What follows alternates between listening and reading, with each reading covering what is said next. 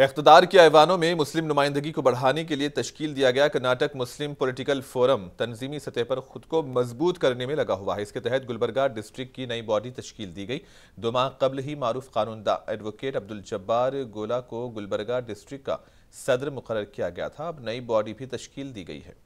नई बॉडी में इंजीनियर नैयर खुर्शीद और इंजीनियर हामिद अली को नायब सदर मुकर किया गया, जबकि मारूफ समाजी रहनुमा मोहम्मद अनवर सलीदार को जनरल सेक्रेटरी और नौजवान लीडर हारून रशीद खरादी को जॉइंट सेक्रेटरी बनाया गया। शेख अब्दुल रहीम, इंजीनियर हामिद अली और अब्दुल करीम मुड़की को एग्जीक्यूटिव मेंबर्स मुकर किया गया। जिम्मेदारान के मुताबिक ताल्लुक एजाज से भी दो दो मेम्बरान को डिस्ट्रिक्ट बॉडी में नुमाइंदगी दी जाएगी।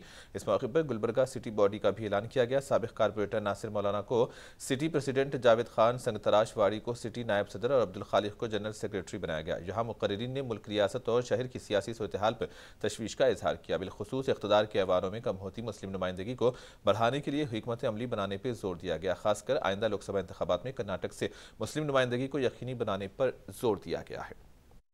और कोशिश हम करेंगे इन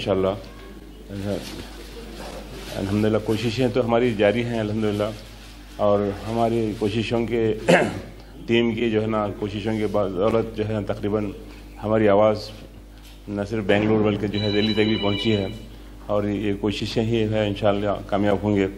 हिजाब का जो मसला हुआ, इलेक्शन होकर गवर्नमेंट बनकर छह महीने मुकम्मल हुए। हिजाब को मामूली सिद्धरामैया साहब एक बात करते, पूरे लोग घिर लिए।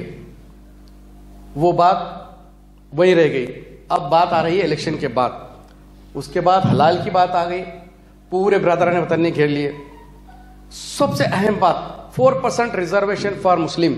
उसको रद्द किया गया, सुप्रीम कोर्ट में पेंडिंग है। उसके ऊपर क्यों बात नहीं हो रही? उसके ऊपर क्यों कैबिनेट डिसीज़न नहीं हो रहा है? चाहे मसला हिजाब का हो, सुप्रीम कोर्ट में पेंडिंग है हाई कोर्ट में पेंडिंग है। रिजर्वेशन का भी मामला दोनों जगह पेंडिंग है। उसके ऊपर गवर्नमेंट ऑफ़ कर्नाटक क्यों एक्शन में नहीं आ रहे? हमारे पास नहीं। हम ये कर सकते हैं। ये हमने बताया नहीं। एक वक्त था, यहाँ पर कर्नाटक में मुस्लिम लीग को इतनी ताकत दे दी गई थी। कमरुल इस्लाम साहब उसके सदर थे, मेरे वालिद साहब भी उसके अंदर अहम तरीन किरदार निभाते थे और दीगर यहाँ पर कई सारे लोग हैं जो मुस्लिम लीग से जुड़े हुए थे।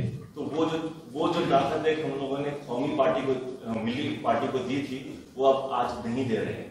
अगर हम फिर एक बार देना शुरू करते हैं तो हम तब टेबल पर बैठकर बात करने के साबित हो जाएँगे।